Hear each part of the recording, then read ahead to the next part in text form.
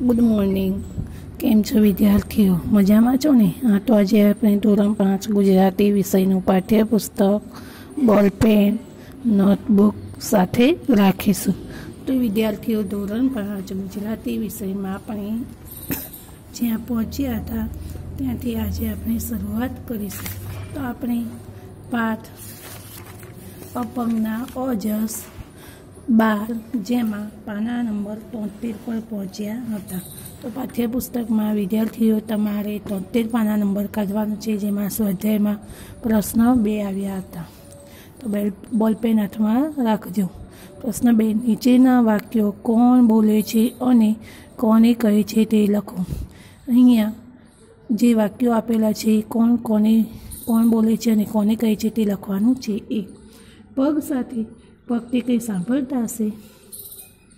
તો આ વાક્ય, વોલ્ટરની માતા.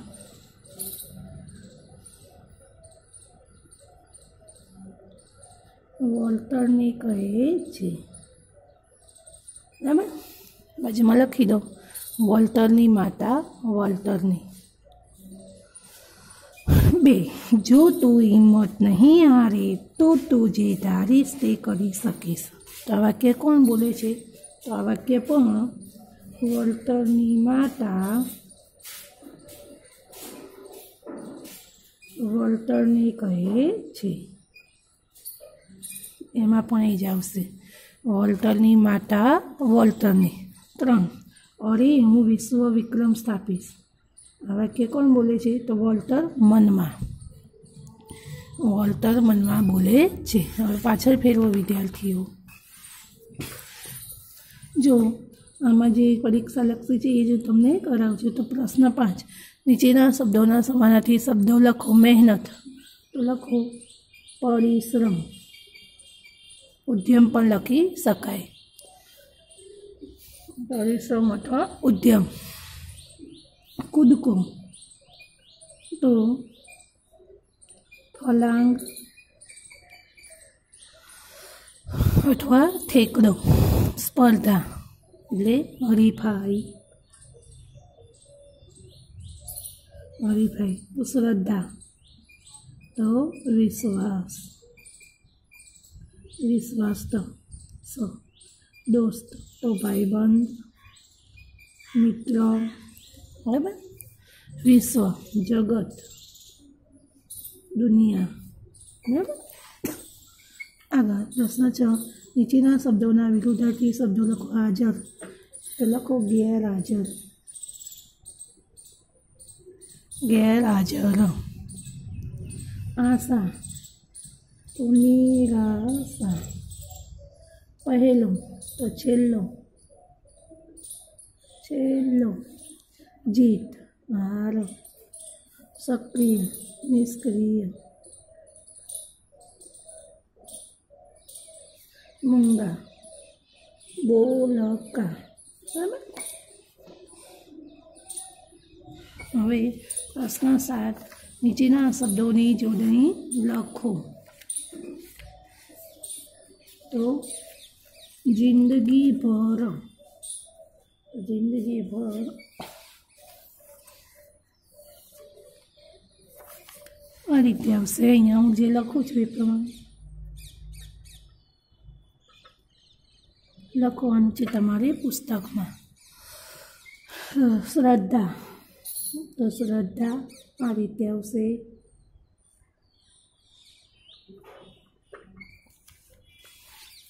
હરીફાઈ. દીર્ઘઈ આવશે.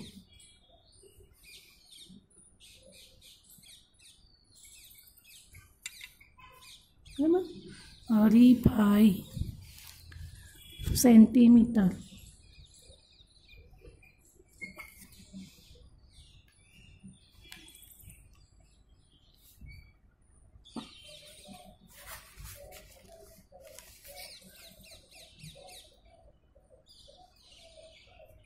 સેન્ટીમીટર સિદ્ધાંત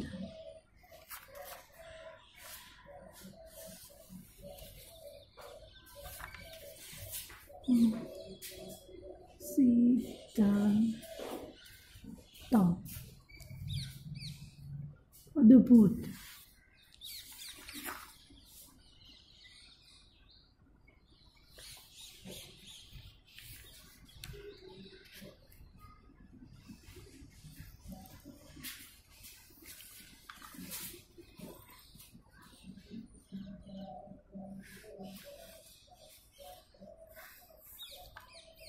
અદ્ભુત આ રીતે લખવાનું છે. બરાબર? અહીંયા, બરાબર? પ્રશ્નનો નીચેની કરી જગ્યામાં ગેસ નામ મૂકો. રાકેશ આવ્યો છે. એને કહો કસ કે કશું બોલે નહીં. એને. મનોજ ધીરજ અને રેખા પૌણી છે. બધા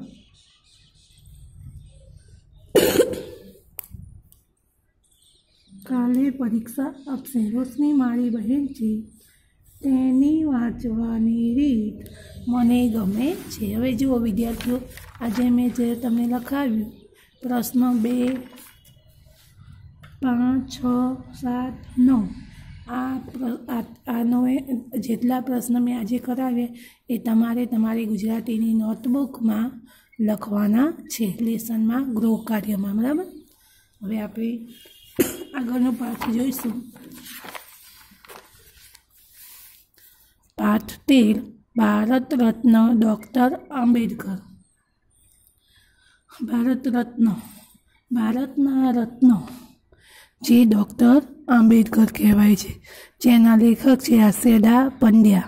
પ્રસ્તુત એકમમાં લેખિકાએ દલિતો, પીડિતો અને સ્ત્રી ઉન્નતિ માટે જીવન સમર્પિત કરનાર ડૉક્ટર ભીમરાવ આંબેડકરના જીવન અને કાર્યોનો ટૂંકો પરિચય કરાવ્યો છે. ડૉક્ટર આંબેડકરે ભારતનું બંધારણ કરીને ભારતના ઘડવૈયા તરીકે ખ્યાતિ મેળવી હતી. તેઓને ભારત રત્નના ઉચ્ચ ખિતાબથી પુરસ્કૃત કરવામાં આવ્યા હતા. સરસ મજાનો પાઠ છે. અહીંયા ડૉક્ટર ભીમરાવ આંબેડકર જેમની નાની વયે પોતાની માતાને ગુમાવી હતી અને તેઓ સૌથી નાના દીકરા હતા. પરંતુ પિતા, પિતાએ તેમને સંસ્કારોનું સિંચન કર્યું. પિતાજી પોતે છે એ લશ્કરી શાળામાં શિક્ષક હતા. તો તેમની માતાનું નામ ભીમાબાઈ હતું અને પિતાનું નામ રામજીભાઈ હતું. તેમનો જન્મ મધ્યપ્રદેશ રાજ્યના મહુ ગામમાં ચૌદમી એપ્રિલ અઢારસો એકાણુંમાં થયો હતો. એમનું કપાળ વિશાળ, વાળ વાકડિયા, નાક ટચુકડું એવું, આંખો પાણીદાર અને પરિવારમાં સૌથી નાના. પણ મા બાપના લાડકો તેમને સારી રીતે મેળવ્યા હતા. પરંતુ દુર્ભાગ્યે કમનસીબે એમણે માતાનું શોખ ગુમાવ્યું હતું. સરસ મજાનો પાઠ છે. પહેલાંના સમયમાં જ્ઞાતિ પ્રથાનું દૂષણ ખૂબ જ હતું. એટલે આ જે ભીમરાવ આંબેડકર છે, એમની જ્ઞાતિને નીચલી જ્ઞાતિ ગણવામાં આવતી. એટલે એમને ઘણા અન્યાયો, સામાજિક અન્યાયો સહન કરવા પડ્યા હતા. હવે આ ભીમરાવ આંબેડકર જે ભણવામાં ખૂબ જ તેજસ્વી હતા. અને એ સમયે પહેલાં કાર્ય નહોતું જોવામાં આવતું, આવડત નહોતી જોવાતી. પરંતુ જન્મને આધારે એ સ્થાન નક્કી કરવામાં આવતું હતું. ભીમરાવ આંબેડકરે કાયદો અને અર્થશાસ્ત્રનો અભ્યાસ લંડનમાં જઈને કરેલો. તેમને પુસ્તક પ્રતિ પણ ખૂબ જ પ્રિય હતી પુસ્તકો તેમને વાંચવા ખૂબ જ ગમતા હતા. તેઓ ફુરસદનો સમય વાંચનમાં જ વ્યતીત કરતા હતા. આમ ઘણા બધા સંઘર્ષો વેઠીને તેમણે દરજ્જાનું શિક્ષણ મેળવ્યું અને ભીમાને જ્યારે નોકરી મળી ત્યારે એ સમયમાં સામાજિક દુષ્ણતાનો એમને કડવો અનુભવ થયેલો. એટલે સુધી કે એમની ઓફિસનો જ પતાવાળો એમની સાથે ગેરવર્તાવ કરતો હતો. ત્યારે પોતે એમને ઘણું લાગી આવતું કે પોતે આટલા ભણી ગણીને એટલા સારી જગ્યાએ નોકરી કરે છે. છતાં આવી રીતે અપમાન અપમાનિત થવું પડતું હોય તો મારા સામાજિક, મારા સમાજના માણસો માનવીઓ જે અભણ છે એમણે કેટલું બધું સહન કરવું પડતું હશે. આ માટે એમણે સામાજિક બહિષ્કૃત હિતકારીની સભા નામની સંસ્થાની સ્થાપના કરી. સામાજિક ઉત્થાનની અનેક પ્રવૃત્તિઓ પણ તેમણે કરી હતી. તેમણે ઘણા બધા સ્ત્રીઓને શિક્ષણ માટેના ઘણા બધા પ્રયત્નો કર્યા હતા. તેઓ દેશભક્ત હતા. આમ, એમનો ટૂંકનો પરિચય મેળવ્યો. આપણે પાઠમાં જોઈએ. આશરે સો સવા સો વર્ષ પહેલાંની આ ઘટના છે. આશરે સો સવા સો વર્ષ થઈ ગયા. એ પહેલાંની આ ઘટના છે આ બનાવ છે. છ વર્ષની કુમરી વયના એક બાળક પોતાની માતા ગુમાવી છે. છ વર્ષ એટલે કેટલી નાની વય કહેવાય? પહેલાં ધોરણમાં બાળક ભણે. એટલી નાની ઉંમરે તેમણે પોતાની માતાને ગુમાવી. એના પિતા રામજીભાઈ લશ્કરી શાળામાં શિક્ષક છે. તેમના પિતાજી છે ડૉક્ટર ભીમરાવ આંબેડકરના જે, રામજીભાઈ લશ્કરી શાળામાં શિક્ષક હતા. માટલો સુખ ગુમાવનાર પુત્રના વાકડિયા વારમાં પિતા હાથ પર પસવારી રહ્યા છે. નાની વયે માતાનું સુખ ગુમાવી દીધું.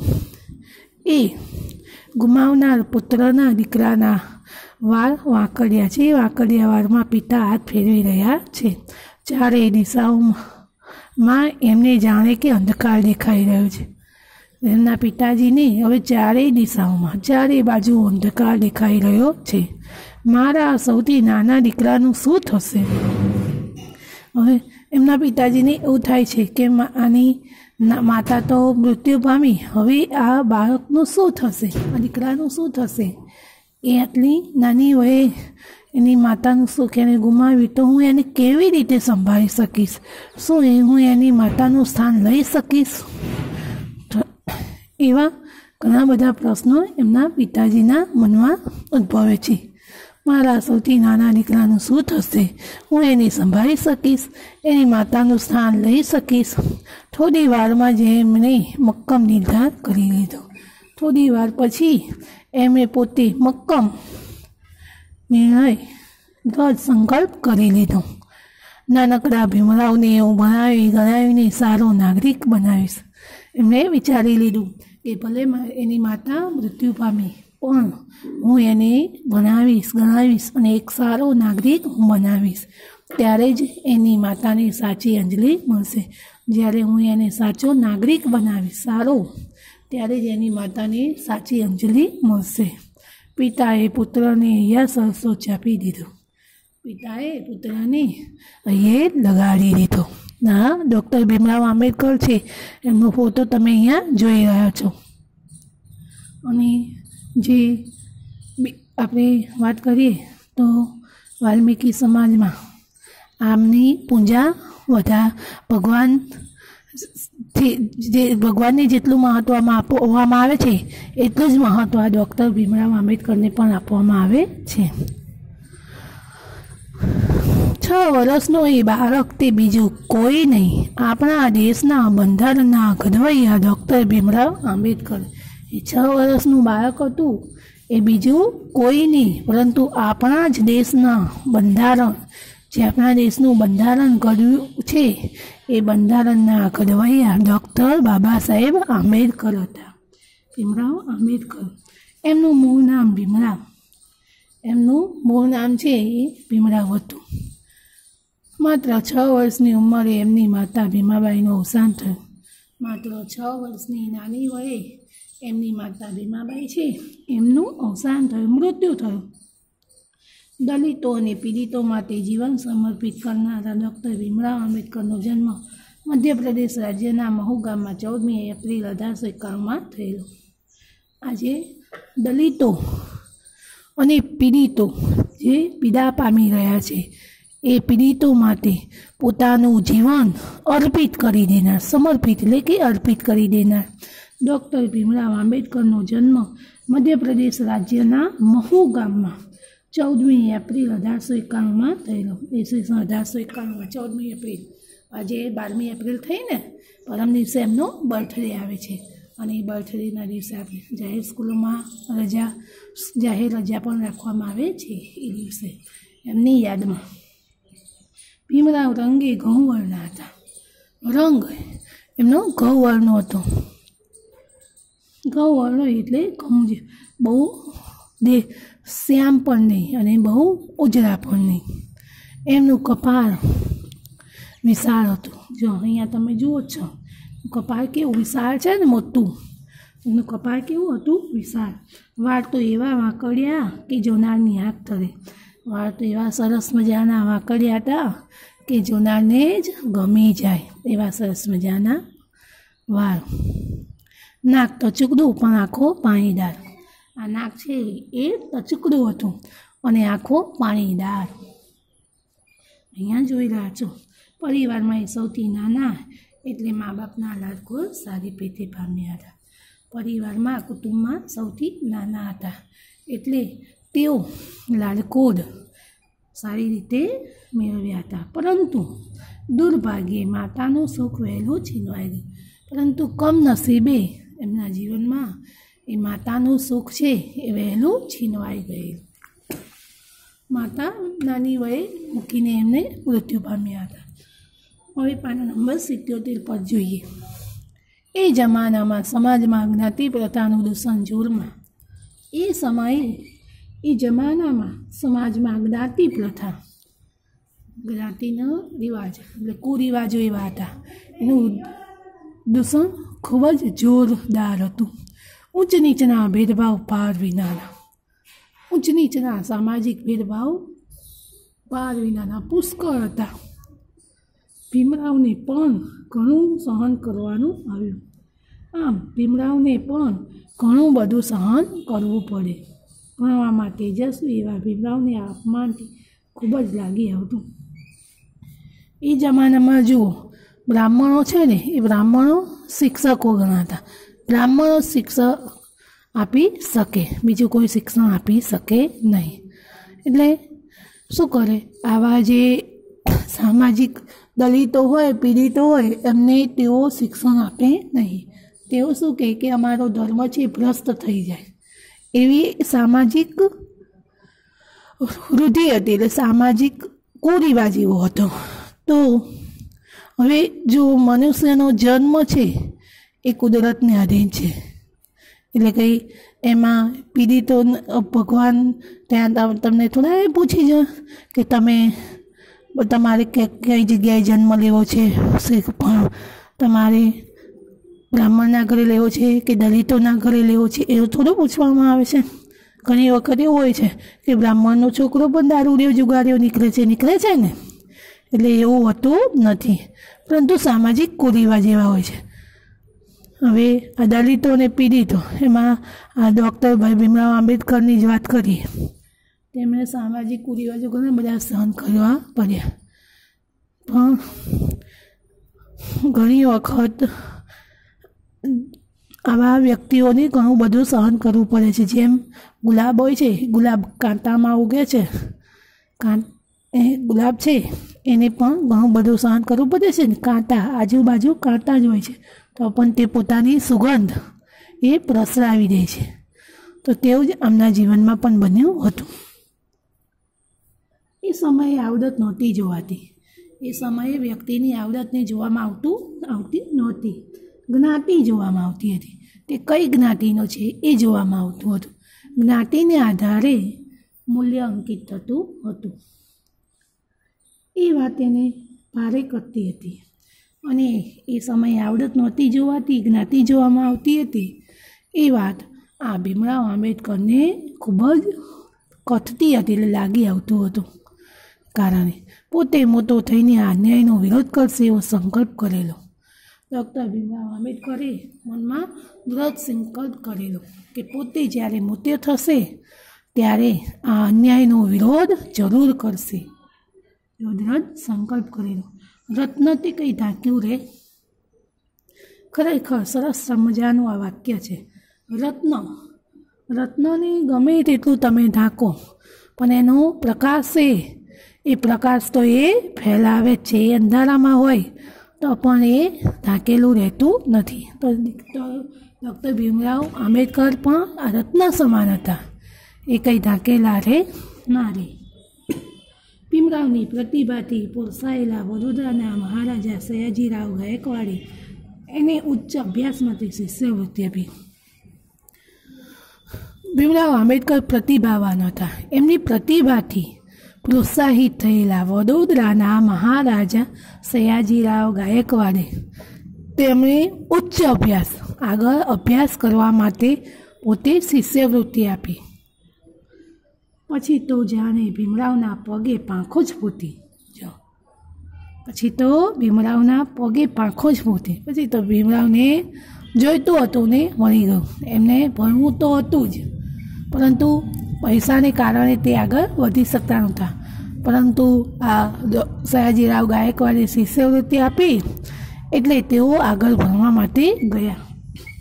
સ્નાતક થયા પછી ભીમરાવને વધુ અભ્યાસ માટે વિદેશ જવાની તક પણ સાંપડી. જો, તેઓ સ્નાતક બન્યા અને પછી ભીમરાવને વધારે અભ્યાસ માટે વિદેશ જવાની તક મળી.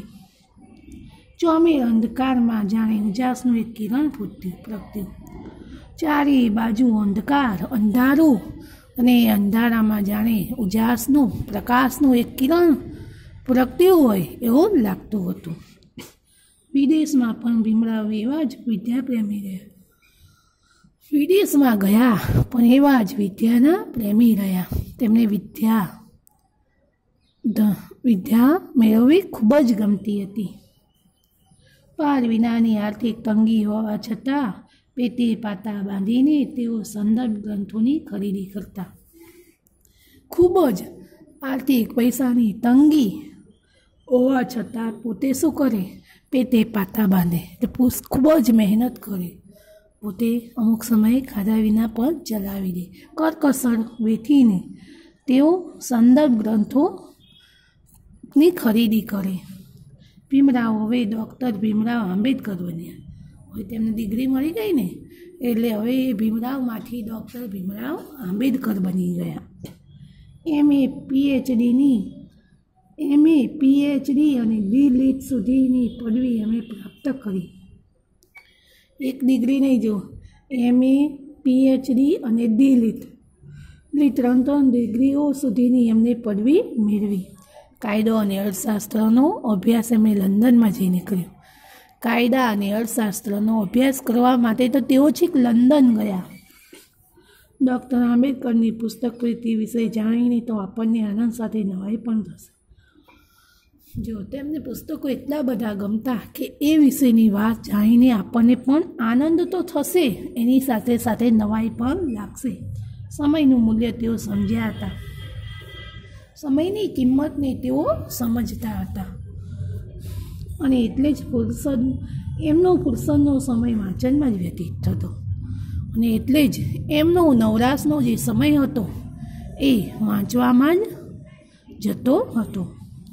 અનુકૂળતા થાય કે તરત જ તેઓ પુસ્તકની પુસ્તકોની દુકાને પહોંચી જતા. અનુકૂળ સમયે તેઓ ભીમરાવ આંબેડકર પુસ્તકોની દુકાને પહોંચી જાય. આશરે બે હજાર જેટલા દુર્લભ ગ્રંથોનો એમણે સંગ્રહ કર્યો હતો. ઓછામાં ઓછા આશરે બે હજાર જેટલા દુર્લભ એટલે ન મળે તેવા ગ્રંથોનો તેમણે સંગ્રહ કર્યો હતો. પેટની ભૂખ વેઠીને પુસ્તક ખરીદનાર વ્યક્તિ મહાન કાયદાશાસ્ત્રી ન બને તો જ નવાય આમ પોતાના પેટની ભૂખ વેઠનાર આ મહાન કાયદાશાસ્ત્રી ન બને તો નવાઈ જ લાગે ને? ડૉક્ટર બાબા સાહેબ તો એવા પુસ્તક પ્રેમી કે દુર્લભ પુસ્તક મેળવવા વહેલી સવારે માઇલો લગી ચાલીને વાંચના લઈ જાય ડૉક્ટર બાબા સાહેબ છે, એ પુસ્તકોના પ્રેમી તો એવા હતા કે એ દુર્લભ ન હોય તેવા પુસ્તકો મેળવવા માટે વહેલી સવારે ઘણી બધે સુધી ચાલીને વાંચનાલયે, પુસ્તકાલયે જાય. મોડે સુધી વાંચનાલયમાં બેસીને વાંચ્યા કરી. અને મોડે સુધી તે પુસ્તકાલયમાં બેસીને વાંચ્યા જ કરે. ત્યાંથી પાછા આવીને પાછું વાંચવાનું છે ને નવાઈ ભરી જો તમને નવાઈ લાગે કે ન લાગે? ત્યાંથી પાછા આવ્યા પછી પણ તેમને વાંચવાનું. સંઘર્ષો વેઠીને આટલું ઊંચા ઊંચા દરજ્જાનું શિક્ષણ મેળવ્યા પછી ડૉક્ટર ભીમરાવની નોકરી તો મળી. ઘણા બધા સંઘર્ષો વેઠ્યા. ત્યાર પછી એમને આટલા ઊંચો દરજ્જાનું શિક્ષણ મેળવ્યું. પછી તેમને નોકરી તો મળી, પરંતુ એ વખતના આપણા સામાજિક દૂષણ અસ્પૃશ્યતાનો પણ કડવો અનુભવ થયો હતો. પરંતુ એ સમયના આપણા સામાજિક દૂષણ, અસ્પૃશ્યતાનો એમણે આટલું ભણેલા હોવા છતાં પણ એમને કડવો અનુભવ થયો હતો. તે એટલે સુધી કે એમની જ ઓફિસનો પત્તાવાળો પણ એમની સાથે ગેરવર્તાવ કરતો. તમે વિચાર કરો કે એમની જ ઓફિસ, એ ડૉક્ટર ભીમરાવની જ ઓફિસનો જે પત્તાવાળો હતો. હવે પત્તાવાળાની શું? બોલો, વિચાર કરો. શું હેસિયત હોય એ આ ડૉક્ટર ભીમરાવ સાથે ગેરવર્તાવ કરતો હતો. ડૉક્ટર આંબેડકરને થતું કે પોતે ભણી ગણીને સારી જગ્યાએ નોકરી કરે છે છતાં જો આ રીતે અપમાન થવું પડતું હોય, તો પછી મારા અભણ અને આર્થિક રીતે નવરા જ્ઞાતિ બંધુઓની સ્થિતિની તો વાત જ નહીં કરું?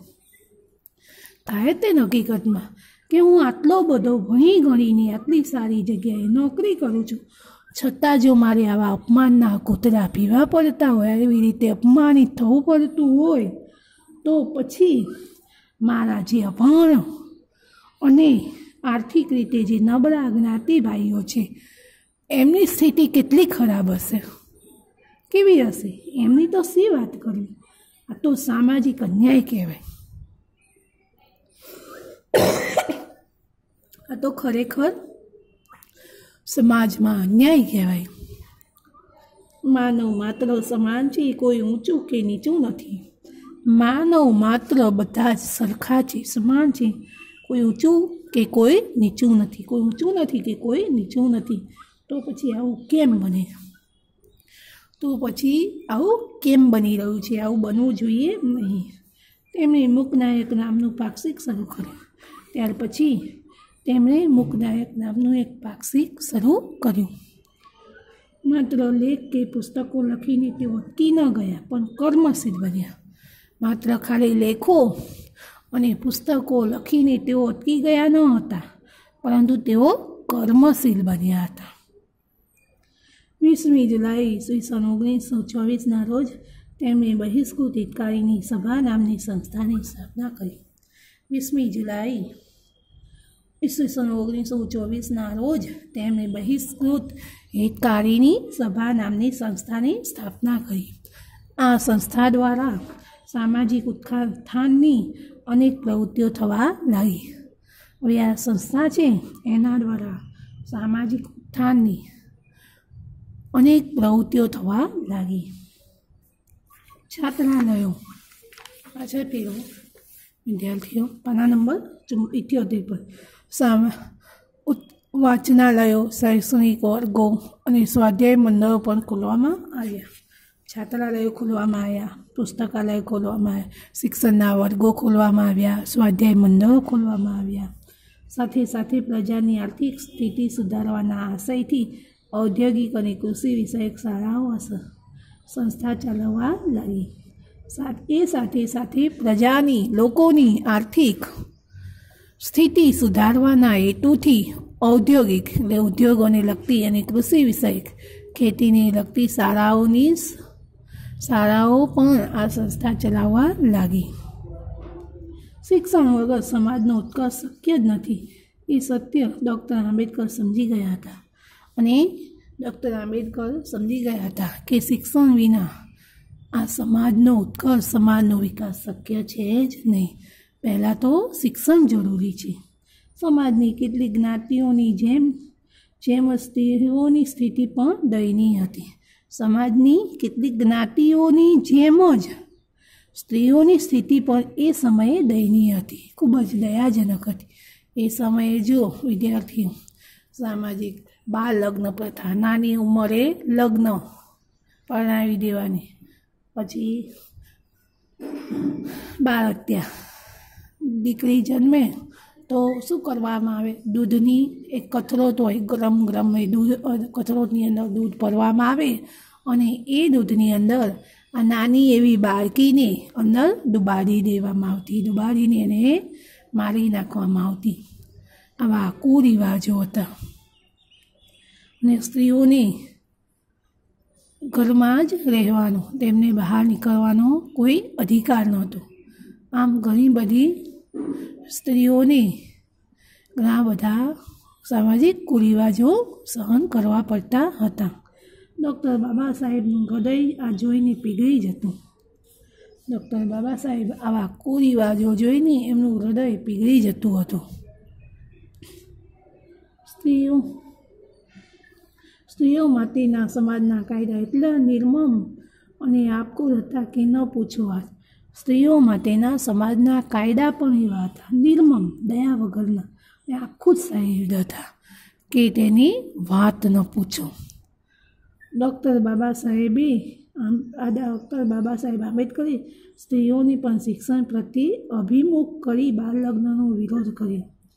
જો, પહેલાં તો શું કર્યું? ડૉક્ટર બાબા સાહેબે સ્ત્રીઓને શિક્ષણ પ્રત્યે અભિમુખ કરી, જાગૃત કરી. સ્ત્રીઓને ભણવા માટે જાગૃત કરી. અને પછી બાળ લગ્ન પ્રથાનો વિરોધ કર્યો. પહેલાં તો સ્ત્રીઓને શિક્ષણ અપાવ્યું અને પછી બાળ લગ્ન પ્રથા છે તેમનો વિરોધ કર્યો. જો વિદ્યાર્થીઓ તમને જે લેસન હમણાં આપ્યું, તે લેસન તમારે ગૃહકાર્યમાં કરવાનું છે. અને હવે પછી જે અધૂરો પાઠ છે, એ હું આવતા વિડીયોમાં ચલાવીશ. અસ્તુ.